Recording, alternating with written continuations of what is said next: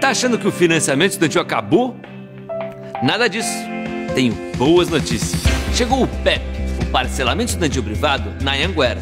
Você paga até 70% do seu curso só depois de formado e sem juros. Ah, e não precisa de Enem. É o único parcelamento pré-aprovado direto com a faculdade. Prova 21 de maio. Inscreva-se já. O PEP é o parcelamento estudantil que faltava. Vem, a gente faz dar certo.